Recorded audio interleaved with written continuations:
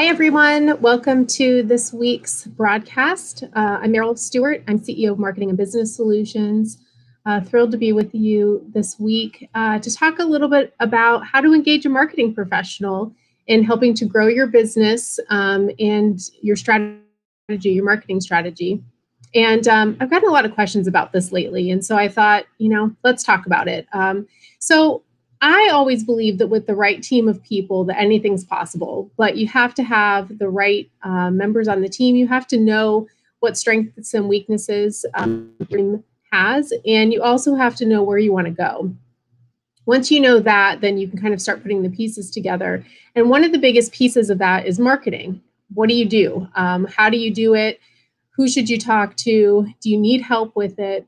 Um, those are a lot of things that the people ask. Um, folks ask, you know, I, I do marketing, but um, do you know anyone that else that does marketing? And it's that's a loaded question. if you're doing marketing and you need help, then there's probably something specific that you need help with. Um, some people ask, I need to do more on social media. Do you do that? Well, yeah, we do that, but it's a more calculated process than just saying you need help with social media. Um, so I thought it would be helpful to discuss some tips on engaging marketing expertise for your business, your organization, so here we go. Um, what is happening in your business that you might need help with with marketing? That's the first question you need to ask yourself. Have things changed uh, in how you're doing business?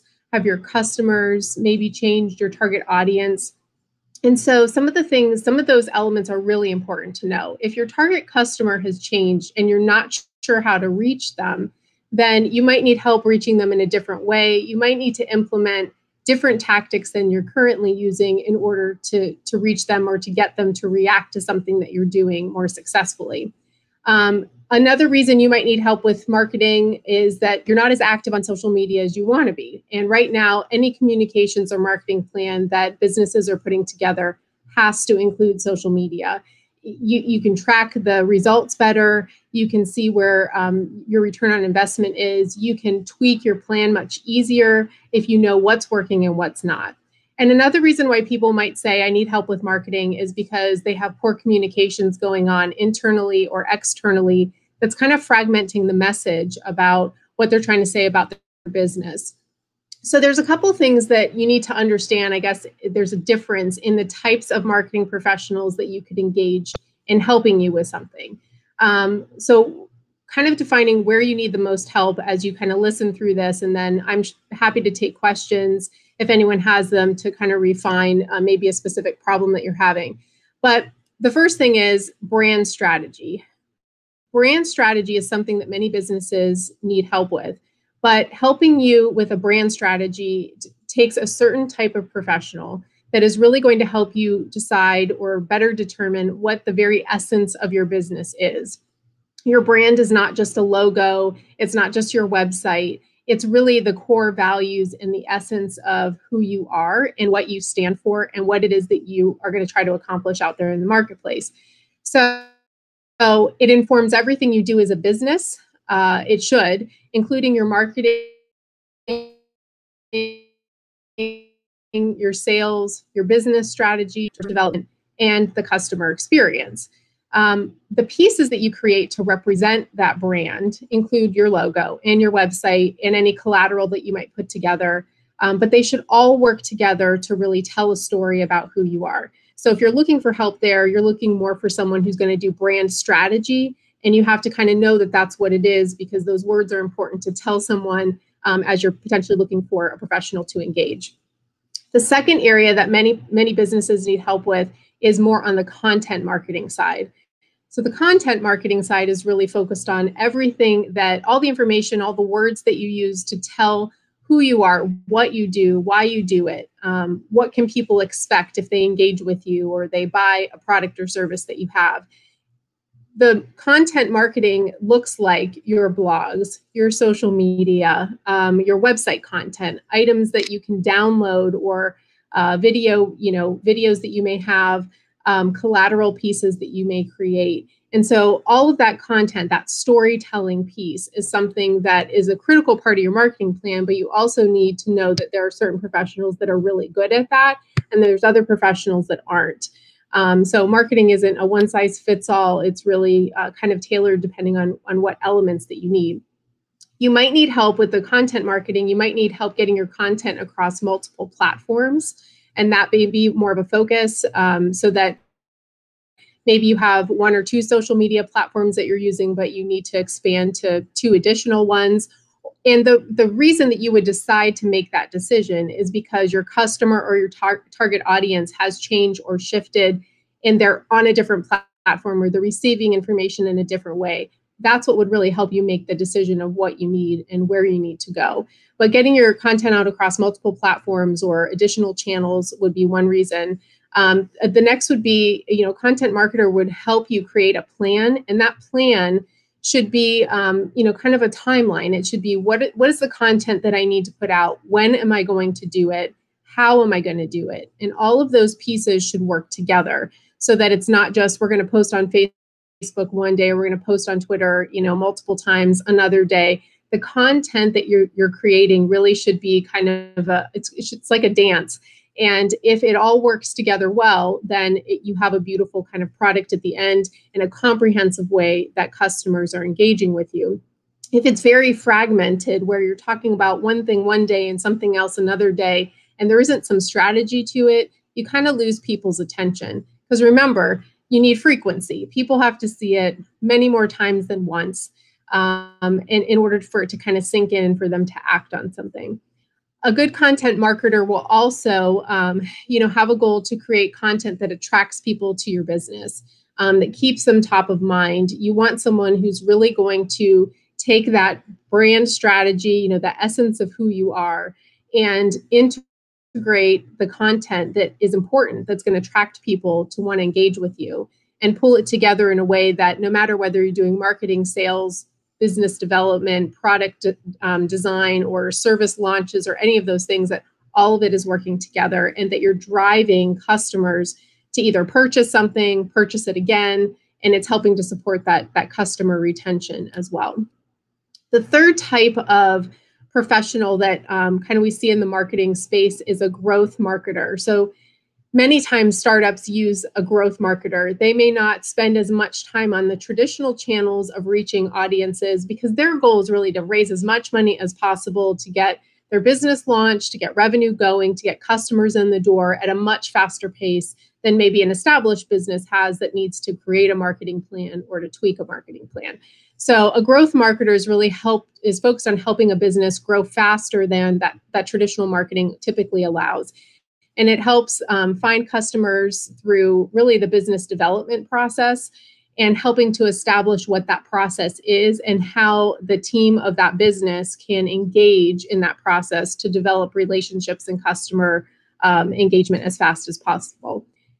The fourth type of kind of marketing professional that's out there um, that's worth kind of investigating is really just a coach, uh, somebody that you may be uh, the CEO or a lead um, person in your organization or your business and really looking for someone to acknowledge what you have done from a marketing perspective, but also what you need. And it's someone to help coach you along, to help teach you basically how to continue to be a self marketer, um, but somebody that can kind of help you avoid the pitfalls of maybe some marketing mistakes that you really can't afford to make and to ensure that your budget goes as far as it possibly can with the highest return on investment. Um, there's someone that's really focused on empowering businesses and organizations to, to take things on their own and they guide them through those steps. Um, they're also someone that can help you prioritize things. If you tend to get distracted, which right now I think many of us are, are all dealing with that on a daily basis, but you're having a hard time prioritizing what to do next with marketing. You know you should do it, but you don't know when um, a marketing coach is a great idea. There's someone that can help you um, kind of lead you through what should happen next um, or the timing of other things that you have planned so that you have the best results. So, those are kind of the areas of marketing that most people tend to fall under. Um, but I wanted to talk a little bit more about what you should be considering when you go to hire somebody. Um, I've, you know, hired a, a firm to actually help me with my own social media and I think that sounds funny because I'm a marketing person, but I think it's really hard to market yourself. And well, at least it is for me, but for most people it is. And for many clients that we've worked with, um, one of the challenges is is that they're just too close to it. Sometimes they they can't step back to really assess what they need um, unless someone else with kind of fresh eyes comes in. So one of the things that I did in going through this process for our own company was to interview multiple people, um, was to really look at what is the expertise that I'm looking for. And I knew for me, I needed more consistency on social media. So, what is it that I can do for my business? Who's the person who's going to get me understand what I stand for and what our business stands for, but who who can help me kind of um, graduate to the next level of engagement that can help me build our audience that can establish expertise uh, and set initiatives in place that I can react to as a business owner, but I really need them to kind of push me in that direction because a lot of things take my time and my energy and you know get thrown um, in front of me to do. And from a priority perspective you know my own marketing kind of falls off the radar.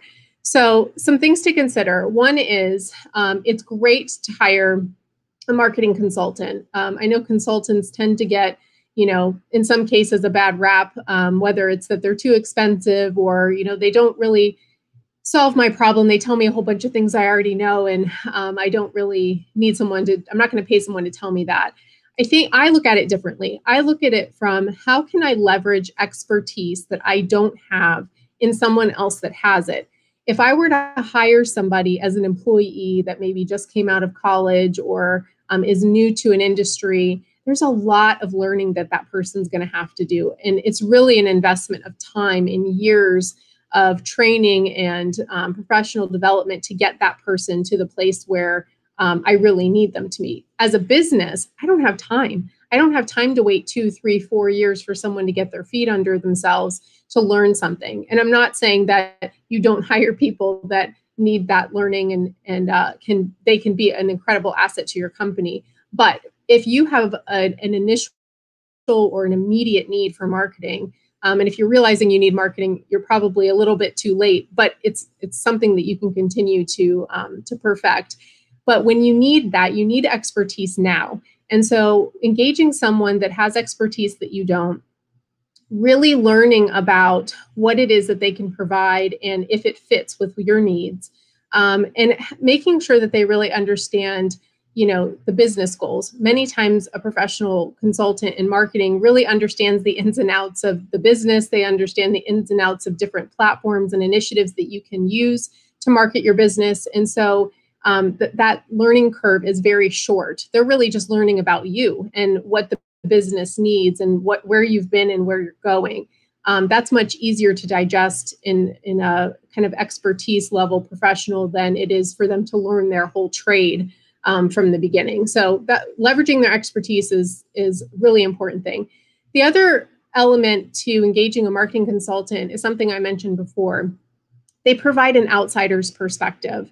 Um, they can look at your brand, kind of who you are as that business, what's your essence, um, what you stand for.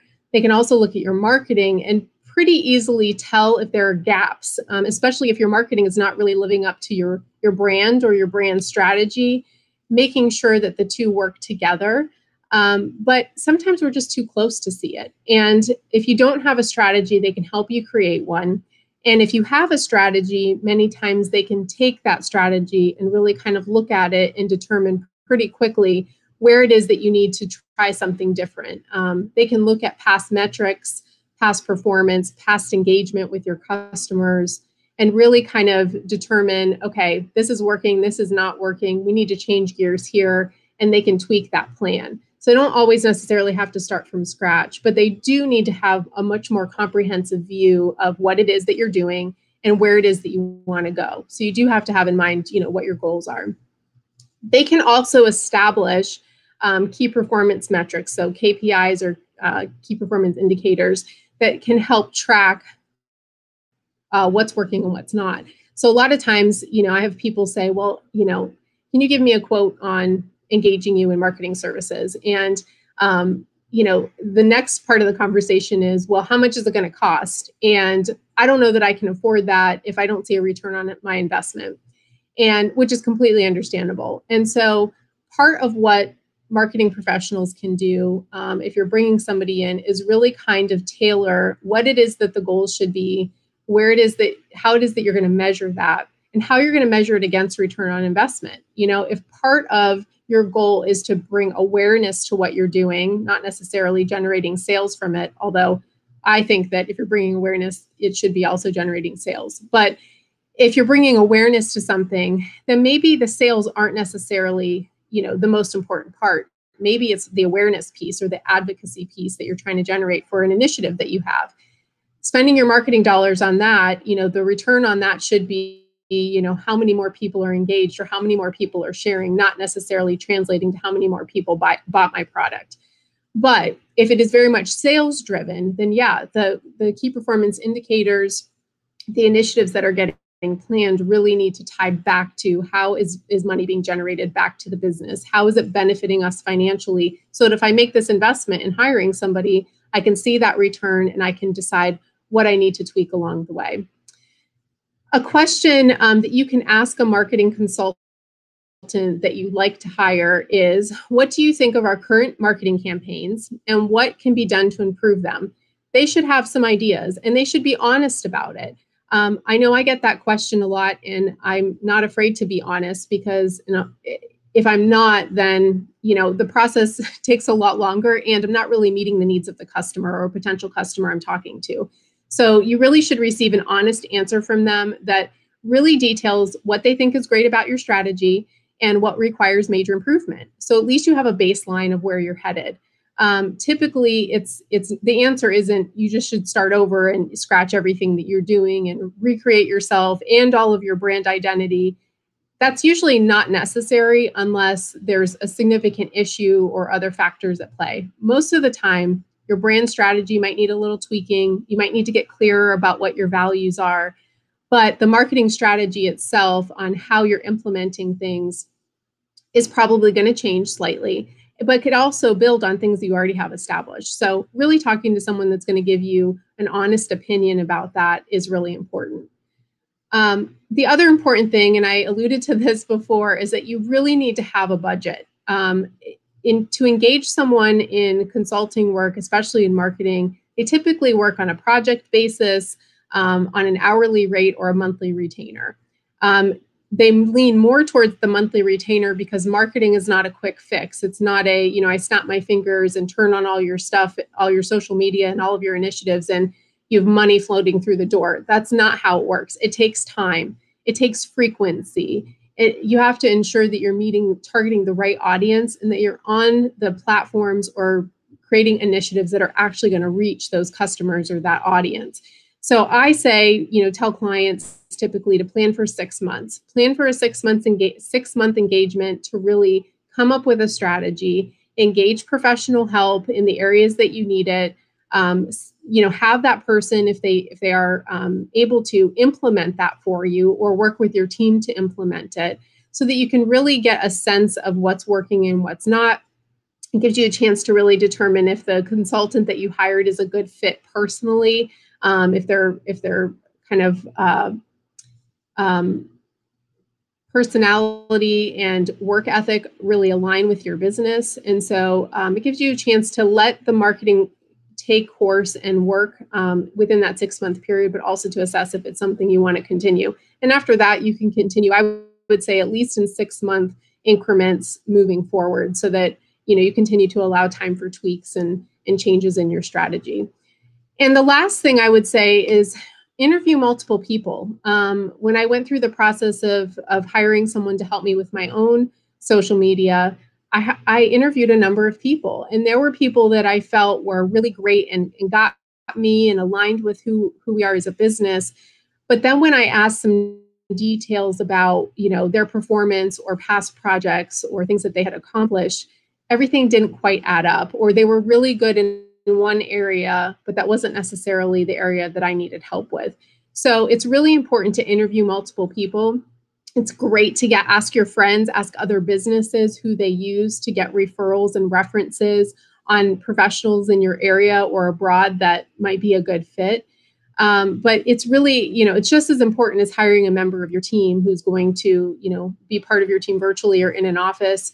Um, it's it's that, that important. So, you know, hire like you would any employee, interview multiple candidates, see who's the best fit, who has the right expertise, and um, you know ensure that all of the pieces are are going to be working together so that you have the next best plan for your for your company.